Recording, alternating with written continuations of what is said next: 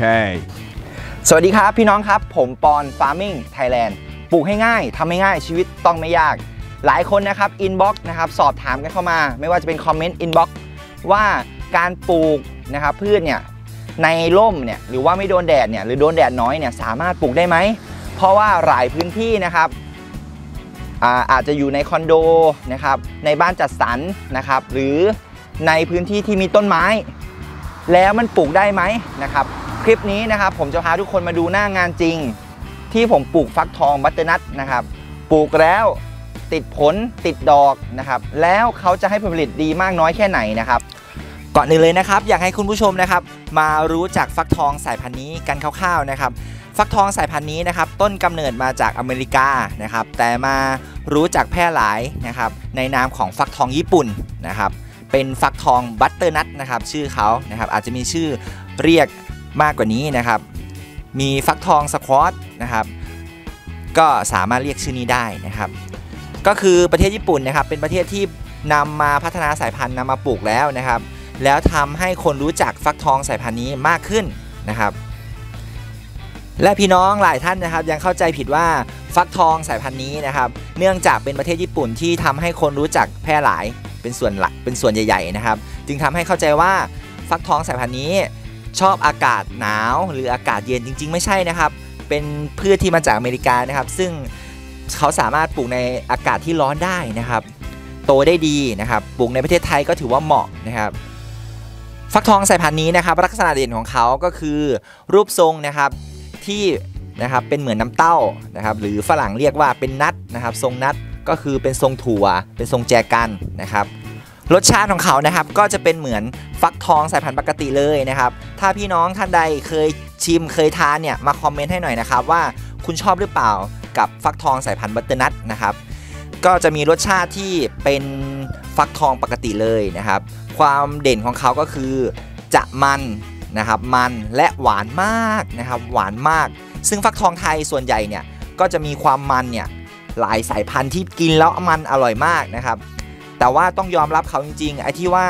สายพันธุ์ตรงนี้ลักษณะเด่นของเขาก็คือความหวาน หวานโดยธรรมชาติ หวานแบบไม่ใส่น้ำตาลนะครับ ก็จะเป็นหวานมัน เนื้อจะมีมวลที่ละเอียด เนื้อหนานะครับ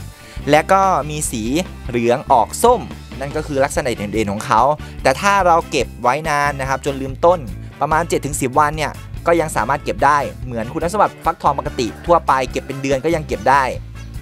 แต่สีสันของเขาถ้าเก็บนานๆนะครับ สำหรับฟักทองบัตเตอร์นัทจะมีสีส้มมากขึ้นนะครับ ปกติก็จะเป็นเหลืองอมส้ม แต่ถ้าเก็บไว้นานก็จะส้มขึ้นเรื่อยๆนะครับ หรือแม้กระทั่งผ่าแล้วนะครับ ปล่อยไว้ประมาณสักชั่วโมงนึงเนี่ย สีจากเหลืองอมส้มก็จะเป็นส้มมากขึ้นนะครับ ก็คือเข้มขึ้นนั่นเอง อะทีนี้นะครับผมจะพูดถึงวิธีการปลูก วิธีการดูแลนะครับ วิธีการผสมเกสรทำยังไงนะครับ ไม่มีแดดแต่เราก็สามารถนะครับปลูกพืชแล้วมีผลผลิตนะครับ ก็ตามที่คุณผู้ชมได้เห็นนะครับ ถ้าพอใจก็สามารถทำตามนะครับวิธีการปลูกของผมได้เลยครับ พี่น้องครับอย่างที่พี่น้องนะครับเห็นเลย ตรงนี้จะโดนแสงแดดน้อยมากนะครับ ประมาณสัก 3 ชั่วโมงต่อวันนะครับ และยิ่งช่วงนี้นะครับเป็นช่วงฤดูฝนของจังหวัดประจวบด้วย ซึ่งแทบจะไม่มีแดดเลยนะครับ หลายจังหวัดก็โดนพายุเข้าก็ไม่มีแสงแดดเช่นกันนะครับ แต่วันที่โดนแสงแดดเต็มๆณจุดตรงนี้ที่ผมปลูกนะครับ จะโดนแสงแดดประมาณ 3 ชั่วโมงนะครับซึ่งด้านขวามือเนี่ยจะโดนแสงแดดจากตัวบ้านนะครับส่วนด้านซ้ายมือจะโดนบังด้วยต้นไม้ใหญ่ ซึ่งมันเหมาะกับหลายคนนะครับที่มีบริเวณพื้นที่ปลูก แล้วไม่มีแสงแดดหรือมีน้อยน้อยมากนะครับถ้าใครมีมากกว่า 3 ชั่วโมง 4 ชั่วโมง คุณผู้ชมก็สามารถปลูกได้แล้วนะนะครับแต่อยู่ในเงื่อนไขที่กำหนดก็คือจะมีผลผลิตอย่างที่คุณผู้ชมได้เห็นลูกไซส์ประมาณนี้รับได้ไหมนะครับ และทีนี้เรามาพูดถึงวิธีการดูแลนะครับของการปลูกตั้งแต่แรกเลย ตั้งแต่เริ่มแรกเลยนะครับ จริง ๆ ผมก็ทราบดีว่าตรงนี้นะครับไม่เหมาะแก่การปลูกพืชนะครับ แต่ผมก็อยากทดลองนะครับ ให้พี่น้องเห็นว่ามันปลูกแล้วมันได้แค่ไหนนะครับ ในพื้นที่ที่แสงน้อยนะครับ เริ่มต้นเลยนะครับก็จะเป็นพื้นที่ที่โดนแดดน้อยเราทราบแล้ว ทีนี้ผมก็มาปลูกแบบไม่ได้ตั้งใจแหละก็คือทดลองดูนะครับ ว่าดินที่นี่เป็นยังไง น้ำที่นี่เป็นยังไงนะครับ ซึ่งพื้นที่ตรงนี้จะเป็นน้ำก่อยนะครับ ซึ่งอาจจะหนักกว่าหลายพื้นที่นะครับ พี่น้องก็ลองวิเคราะห์ดูนะครับ หลังจากที่ผมวิเคราะห์ดูแล้วน้ำก่อย ไม่สามารถจะปลูกพืชแล้วเจริญเติบโตได้ดีนะครับ ทีนี้มีน้ำประปามา ผมก็เลยเริ่มให้น้ำประปานะครับเป็นน้ำประปาแทนน้ำก่อยนะครับ ซึ่งก็จเจริญเติบโตได้ดีขึ้นนะครับ จากเดิม ทีนี้จะมาพูดถึงการปรุงดินนะครับ ก็คือเป็นพื้นที่ดินเดิมเลยแบบนี้เลยนะครับ พี่น้อง ก็เป็นดินปกติดินทั่วไปนะครับ ดินแบบไหนก็ได้ที่มีในพื้นที่นะครับ ผมนำขี้วัวนะครับ มาผสมนะครับกับดินคลุกเคล้า ตอนแรกเพาะเมล็ดไปเนี่ยก็คือหยอด 3-4ถึงเมล็ดนะครับ เปอร์เซ็นต์การงอกก็จะมากกว่าครึ่งอยู่แล้วนะครับ ก็คือผมจะเก็บไว้หลุมละ 2 ต้นนะครับ2ต้น แล้ว 1 ต้นสามารถไว้ได้กี่เถาก็ได้ แล้วแต่คุณผู้ชม แต่ผมก็ปล่อยตามธรรมชาตินะครับ สังเกตได้ว่าเขาเขาจะมี 1 เถาหลักนะครับ เนี่ยอย่างเช่นตรงนี้มี1เถาหลักนะครับแล้วก็จะแตกขึ้นมา แล้วก็จะมีแตกแขนงนะครับเป็นเถาที่ 2 ส่วนพืชตระกูลนี้นะครับเป็นพืชตระกูลเขาเรียกว่าไม้เลื้อยนะครับไม้เถา ซึ่งเขาสามารถนะครับออกรากนะครับได้ตามจุดทุกข้อเลยนะครับ ถ้าปักลงดินเดี๋ยวผมจะถอนให้ดูนะครับเห็นไหมครับตรงนี้จะมีรากผมถอนให้ดูเลยนะ เพื่อ เพื่อการเรียนรู้นะครับ ผมผมยอมอะนี่เห็นไหมครับ อาจจะบอบช้ำบ้างนะครับ แต่ไม่ก็ไม่ทำให้พืชตายนะเห็นไหมครับ อันนี้เขาเรียกว่าตระกูลไม้เถาเขาจะมีระบบรากนะครับ สามารถแทงรากออกมาตามข้อได้นะครับ แตกแขนงออกมาตามข้อได้นะครับ สามารถมีช่อดอกตาดอกออกมาตามข้อได้ มีผลออกมาตามข้อได้นะครับ ซึ่งใบก็จะมีความเป็นขนนะครับ ซึ่งหลักๆโรคของเขาเลยแล้วกันทีนี้หลังจากการเพาะเมล็ดเสร็จแล้วนะครับ โรคของเขาก็คือตามลักษณะใบของเขาเนี่ยใบนะครับจะเป็นสีเขียวหนานะครับเป็นขน ซึ่งคำว่าเป็นขนเนี่ยแน่นอนนะครับจะมีปัญหาเรื่องเชื้อราได้นะครับ เพราะว่าขนเนี่ยสามารถจับกับเก็บความชื้นได้นะครับ และอีกหนึ่งตัวนะครับปัญหาโรคแตกสำหรับการปลูกพืชตระกูลแตง นั่นก็คือมแมลงเต่าแตงนะครับหรือใครจะเรียกว่าเต่าทอง จริงๆ ก็เข้าใจแบบนั้น มันก็ไม่ถูกทั้งหมดนะครับ เพราะว่าชื่อเขาคือเต่าแตงเป็นตัวส้มๆครับพี่น้อง ถ้าเต่าทองเนี่ยผมมองว่าน่าจะเป็นอีกลักษณะตัวหนึ่งนะครับที่มากินเพี้ยมันเป็นประโยชน์ได้ซ้ำนะครับสำหรับแมงเต่าทอง อย่าไปโทษเขาแมงเต่าทองคือแมงเต่าทองมแมลงเต่าแตงคือมแมลงเต่าแตงนะครับมแมลงเต่าแตงนี่คือตัวที่น่าเบื่อมากนะครับ แต่ทำไมของผมเนี่ยครับยังนะครับมีใบที่งามได้นะครับ เพราะอะไรช่วงแรกๆนะครับ ก็กินกันหนักเหมือนกันนะครับ แต่ช่วงหลัง เมื่อเราปลูกในระบบอินทรีย์ เมื่อพืชเขาตั้งตัวได้เขาก็จะมีระบบป้องกันในชั้นหนึ่งแล้วนะครับ แต่เราก็ต้องช่วยเขานะครับ ไม่ว่าเป็นสมุนไพรต่างๆนะครับ น้ำหมักเหล้าขาวยาเส้นน้ำส้มสายชูเนี่ยจัดไปนะครับ และผมก็มีพวกชีวพันธุ์นะครับพ่นด้วยบิวเรียมีตาเลเซียมผสมกันนะครับ ก็สลับกันไปนะครับ ในช่วงที่เกิดการระบาดของแมลงนะครับ ให้พี่น้องพ่นทุกเช้านะครับพ่นทุกเย็นก็ได้นะครับ เอาเป็นว่าพ่นทุกวันอะ เช้าหรือเย็นก็ได้นะครับสักหนึ่งครั้ง และในช่วงแบบนี้นะครับที่มันไม่มีโรคแมลงแมลงระบาดเนี่ยผมก็ปล่อยนะครับอาจจะประมาณ 5-7 วันถึงจะพ่นหนึ่งครั้งนะครับก็ได้และอีกหนึ่งตัวนะครับที่จะเกิดปัญหาเกี่ยวกับตัวนี้นะครับที่เชื้อราบอกไปแล้วมันจะเป็นประมาณนี้ครับพี่น้องนะครับกักเก็บความชื้นไว้ปลายใบนะครับ ซึ่งใบบินขนนะครับเนี่ยพอมีความชื้นก็จะเป็นเชื้อราและแบคทีเรียนะครับอีกหนึ่งตัวที่จะเจอแน่ๆนะครับนั่นก็คือเรียกว่าหนอนชอนใบนะครับ หนอนชอนใบเนี่ยผมก็ใช้วิธีการเมื่อสักครู่ที่เราไปนะครับ จัดการเลยพี่น้องจัดการเขาเลยนะครับ ก็จะทำให้ได้ 2 เด้งนะครับนี่ครับโรคส่วนใหญ่ก็จะไม่เกิดขึ้นในแปลงของเรานะครับ ส่วนอีกหนึ่งตัวนะครับที่จะเจออีกนะครับมแมลงวันทองนะครับเขาจะมาเจาะผล แต่ทำไมของผมไม่มีมแมลงวันทองมาเจาะผลเลย เพราะอะไรนะครับ ผลนั้นก็ไม่โดน ผลนั้นก็ไม่โดน เพราะว่าอย่างที่บอกไปเมื่อสักครู่ครับ ผมก็ใช้ตัวนั้นตัวเดียวนะครับ มันก็สามารถคุมได้พอสมควรนะครับ อาจจะไม่ทั้งหมดนะนะครับ อาจจะไม่ทั้งหมดในพื้นที่ เพราะแต่ละพื้นที่ก็จะเจอปัญหาแตกต่างกันนะครับ ซึ่งผมเนี่ยก็เจอปัญหาเต่าแตงมีหนอนชอนใบมานะครับหนอนมานะครับ เชื้อรามีอย่างที่เห็นนะครับแบคทีเรียมี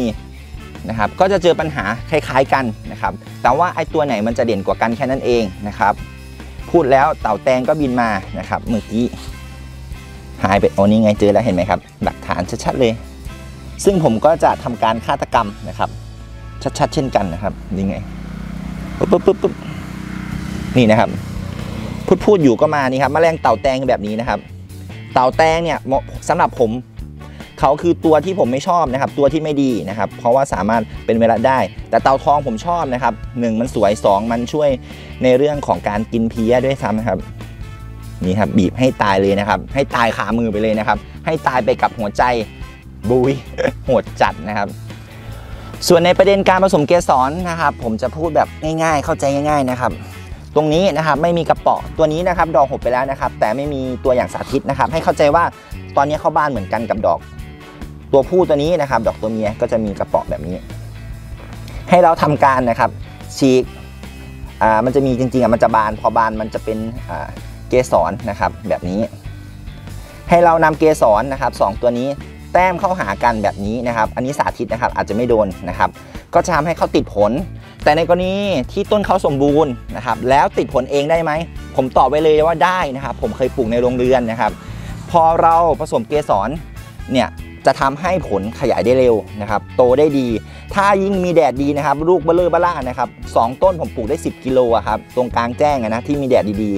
ๆ ผลจะใหญ่มากนะครับ แล้วทีเนี้ยถ้าเราผสมเกสรไปตรงนี้ครับตรงเนื้อตรงเนี้ยจะเป็นเนื้อตันๆ ตรงนี้จะเป็นตรงที่เขามีรังของเมล็ดนะครับ เมล็ดจะขึ้นอยู่ตรงนี้นะครับ แต่ส่วนที่ถ้าต้นสมบูรณ์นะครับ และไม่ได้ผสมเกสรเขาสามารถติดเองได้นะครับ แต่รังตรงนี้จากที่เคยมีเมล็ดเขาจะไม่มีเมล็ดนะครับเมล็ดเขาจะเป็นสีขาวเขาเรียกว่าเมล็ดฝ่อก็จะเป็นฟักทองไรเมล็ดนะครับสามารถติดเองได้ แต่ข้อเสียผลจะเล็กมากกว่า ผลที่เราผสมเกสรผลจะใหญ่มากถ้าผสมเกสรนะครับแล้วก็จะได้เมล็ดเพื่อไปปลูกต่อ ตัวนี้เป็นเมล็ดพันธุ์ F2 นะครับที่ผมนำมาปลูกนะครับก็เป็นครั้งที่ 2 ก็ไม่แสดงว่าเกิดการกลายพันธุ์นะครับ ต้นพันธุ์เนี่ยได้มาจาก อ่า FC นะครับที่ส่งมาจากประเทศอิสราเอลนะครับ เดี๋ยวถ้ามีโอกาสนะครับ ก็จะเก็บพันไว้แต่ชุดนี้ไม่ได้เก็บแบ่งนะครับ พี่น้องเพราะว่ายีนเขาอาจจะไม่มาเต็มร้อยนะครับเพราะว่าระบบการปลูกไม่ร้อยเปอร์เซ็นต์เนื่องด้วยแสงแดดนะครับ อาจจะยังไม่มีแบ่งปันนะครับ ถ้าจะแบ่งปันทั้งทีก็อยากแบ่งปันของดีๆนะครับ ก็แสดงเลยว่าอาจจะเป็นพันธุ์แท้นะครับ ปลูกแล้วไม่กลายพันธุ์นะครับ ถ้า เป็นอ่า M1 Hybrid เนี่ยถ้าเราเป็นลูกผสมมาปลูกต่อเนี่ยมันก็จะมีการกระจายพันธุ์บ้างนะครับ อันนี้คือแบบหน้าตาเหมือนกันหมดเลยนะครับ เดี๋ยวครั้งที่ 3 เราก็จะรู้เดี๋ยวผมจะลองไปปลูกกลางแจ้งนะครับ คุณผู้ชมก็จะได้เก็บเมล็ดพันธุ์นะครับ ไว้ปลูกต่อได้เรื่อยๆ ไม่มีวันสิ้นสุดนะครับหลังจากที่ท่านนะครับเข้าใจวิธีการปรุงดินแล้วนะครับ วิธีการผสมเกสรแล้วนะครับ ทีนี้ผมให้อะไรบำรุงอีกนะครับ มีอีกหนึ่งตัว นั่นก็คืองามขนาดนี้นะครับ ผมใช้อยู่ตัวเดียวนะครับ นั่นก็คือน้ำหมักชีวภาพ น้ำหมักปลาทะเลนะครับ น้ำหมักปลาทะเลนะครับ ใช้ตัวเดียวเลยนะครับ ก็คือจะพ่นทางใบทุกๆ 2-3 วันครั้งนะครับ เพื่อเป็นการาสะสมอาหารนะครับ เพราะว่ามันไม่มีแดดไง เราก็ให้ไปนะครับ ซึ่งน้ำหมักปลาทะเลเนี่ยมันดีก็คือผมสังเกตได้ว่าใช้ไปนะครับไม่จำเป็นต้องใช้ปุ๋ยเคมีนะครับ เพราะว่าพืชไม่แสดงอาการขาดธาตุอาหารธาตุใดๆเลยนะครับ ครบทุกธาตุที่พืชต้องการ นะครับ แล้วก็มีการผสมน้ำลดลาดทางดินนะครับ ให้ด้วยนะครับ ถ้าทางใบเนี่ยก็ให้ประมาณครึ่งแก้วกาแฟถึง 1 แก้วกาแฟต่อน้ำ16 ลิตรนะครับ ก็ให้ไปตามอายุพืช ถ้าโตอย่างเงี้ยให้ 1 แก้วกาแฟต่อน้ำ16 ลิตร ถึง 20 ลิตรเนี่ยคือได้สบาย แต่ถ้ายังเด็กครึ่งแก้วกาแฟก็พอคือให้ตามอายุ ส่วนลดลาดทางดินเนี่ยครับก็ให้เยอะๆหน่อยนะครับ ก็ประมาณประมาณกันก็ได้นะครับ หรือจะเข้มข้นกว่ากันนั้น 1 ต่อ 50 ก็ยังได้ตอนนี้ครับพี่น้อง ไม่ใช่ว่าให้2 cc 3 cc แล้วจะโตนะครับ อันนั้นไม่ใช่อินทรีนะครับ อันนั้นจะเป็นเคมีนะครับ ถ้าจะแรงขนาดนั้นนะครับ ก็คือให้ตามความเป็นจริงนะครับ ความน่าจะเป็นนะครับ สามารถกัดเองได้นะครับ ในกรณีการเปรียบเทียบนะครับ ตรงนี้คือการให้น้ำหมักปลาทะเลนะครับ ส่วนตรงนี้ต้นนี้นะครับไม่ให้อะไรเลยนะครับ สังเกตได้ว่าเจริญเติบโตได้ช้ามากนะครับ เห็นไหมครับ ต้นกระจิ้วเดียวนะครับ ถ้าเปรียบเทียบ กับที่เราให้น้ำหมักปลาทะเลลงไปนะครับ ซึ่งตรงนี้ไม่ได้ให้ 2 อย่างก็คือไม่ให้อ่าไม่ได้เอาขี้วัวกับมาเติมด้วยนะครับ แล้วก็ไม่ได้ให้น้ำหมักปลาทะเลนะครับ ต้นกระจิ้วเดียว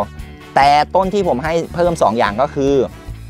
น้ำหมักปลาทะเลนะครับ แล้วก็ขี้วัวเนี่ยก็จะเริญเติบโตได้แตกต่างมากนะครับ